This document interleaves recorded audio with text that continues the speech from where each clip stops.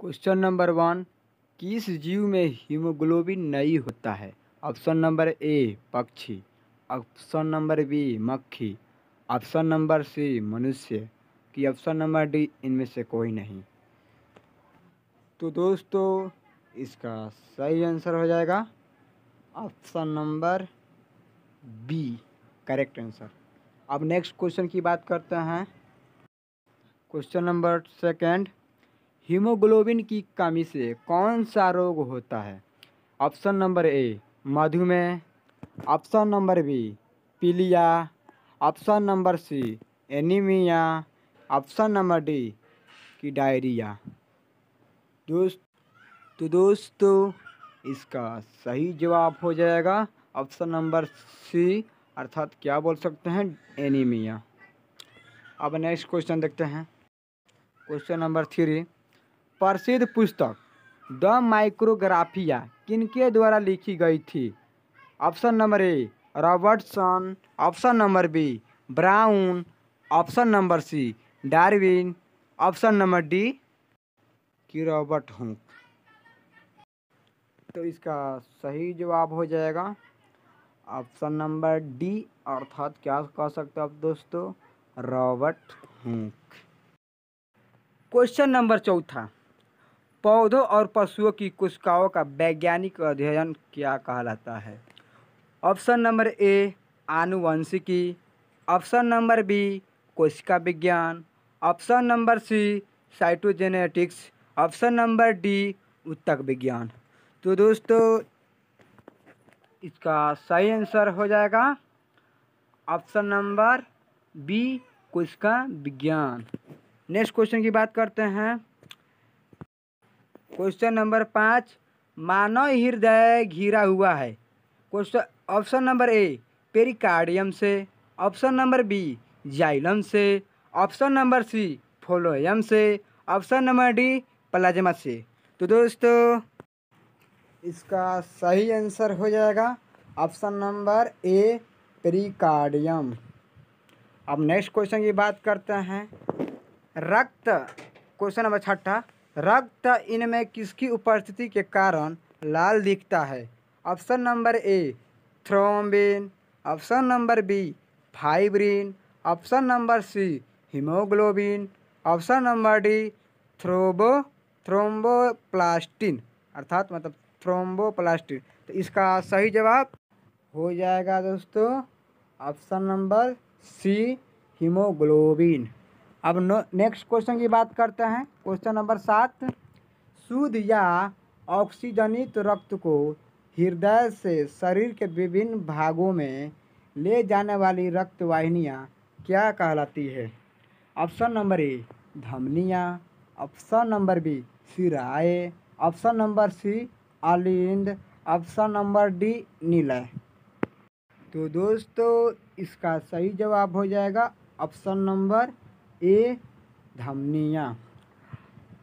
अब next question देखते हैं। क्वेश्चन नंबर आठ। पादप में जाइलम उत्तरदायी है। ऑप्शन नंबर ए जल का वाहन। ऑप्शन नंबर बी भोजन का वाहन। ऑप्शन नंबर सी अमीनो अम्ल का वाहन। और ऑप्शन नंबर डी ऑक्सीजन का वाहन।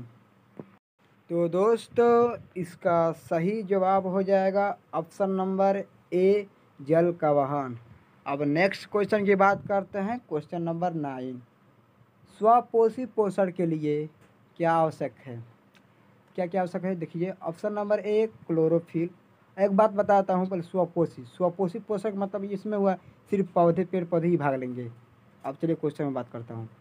Option number A chlorophyll option number B Surya Prakash. Option number D carbon dioxide तथा जल. ऑप्शन नंबर डी उपरोक्त सभी देखिए यहाँ पर डी जो दिया है ना कार्बन डाइऑक्साइड अर्थात जल उसी ऑप्शन है। ये बात करता है स्वपोषित पोषण। स्वपोषित पोषण हमेशा कहेगा तो समझिए प्रकाश संश्लेषण की बात कर रहा है। तो प्रकाश संश्लेषण में हरे पेड़ पौधे भाग लेते हैं तो किन क्या क्या उनको आवश्यकता पड़ती है भोजन बनाने के लिए? वही बात है। तो ऑप्शन नंबर यहाँ पर क्या हो जाएगा दोस्तों? तो हो जाएगा ऑप्शन नंबर डी उपरोक्त सभी ये तीनों रहेगा तभी पोषण होगा, यानी उस तरह नहीं होगा। ये ये तीनों की आवश्यकता पड़ती है पेड़ पौधों को। अब बात करते हैं क्वेश्चन नंबर दस। किस प्रकार के श्वसन में अधिक ऊर्जा निकलती है? ऑप्शन नंबर ए, वायवीय श्वसन। ऑप्शन नंबर बी, अवायवीय श्वसन। Option number C, A and B दोनों। ऑप्शन नंबर डी, इनमें से कोई नहीं। तो दोस्तों, इसका सही जवाब हो जाएगा ऑप्शन नंबर ए, वायव्य श्वसन। अब बात करते हैं नेक्स्ट क्वेश्चन की मतलब क्वेश्चन नंबर ग्यारह। तिल चट्टा में कितने जोड़े श्वास रंध्र पाए जाते हैं? ऑप्शन नंबर ए, दो। ऑप्शन नंबर बी, आठ। ऑप्शन नंबर सी, दस। ऑप्शन नंबर डी छ तो दोस्तों, इसका सही जवाब हो जाएगा ऑप्शन नंबर डी, छ। अब नेक्स्ट क्वेश्चन की बात करते हैं। क्वेश्चन नंबर बारह। प्रकाश संश्लेषण प्रक्रम में निम्नांकित में क्या नहीं होता है? ऑप्शन नंबर ए, पानी का टूटना। Option number B C two मुक्त होना। ऑप्शन नंबर सी, ऑक्सीजन मुक्त होना। और option number D C two का उपयोग। तो दोस्तों, इसका सही जवाब हो जाएगा option number B C two का मुक्त होना। अब नेक्स्ट क्वेश्चन की बात करते हैं अर्थात क्वेश्चन नंबर तेरह। इनमें किसके द्वारा अमीबा भोजन का अंतर्ग्रहण करता है? ऑप्शन नंबर ए कुटपाद ऑप्शन नंबर बी परिवहन।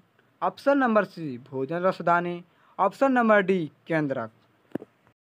तो दोस्तों, इसका सही जवाब हो जाएगा ऑप्शन नंबर ए कुटपाद। अब बात करते हैं नेक्स्ट क्वेश्चन अर्थात चौदह नंबर।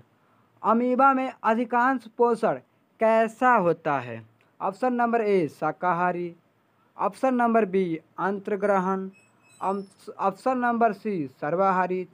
ऑप्शन नंबर डी स्वपोषी। तो दोस्तों, इसका सही जवाब हो जाएगा ऑप्शन नंबर बी अंतर्ग्रहण।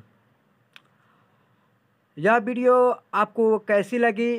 अगर अच्छी लगी तो प्लीज़ इस वीडियो को देखते हुए मेरे चैनल को सब्सक्राइब कीजिए।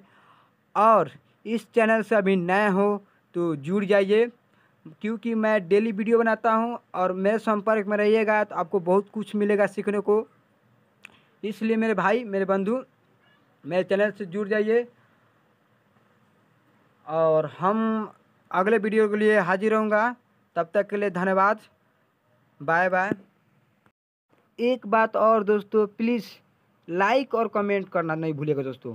लाइक और कमेंट करिएगा तो मुझे आशा होगा, मुझे उम्मीद होगा कि हाँ मुझे विश्वास भी होगा कि हाँ मेरे भाई बंधु ने लाइक और कमेंट किए हैं और जो भी उनको प्रॉब्लम हुआ है, उस समस्या को हमें बताएँ हैं। ताकि जो भी आपको समस्या हो, मुझे कमेंट बॉक्स में लिख कर बताइएगा। उससे मैं सॉल्व करने का प्रयास ज़रूर करूँगा और ज़रूर करके भेजूँगा। आपको यह वीडियो बना दूँगा। जैसा प्रॉब्लम हो, वैसा मैं बनाऊँगा। तब तक के लिए धन्यवाद। नेक्स्ट वीडियो मिलते हैं।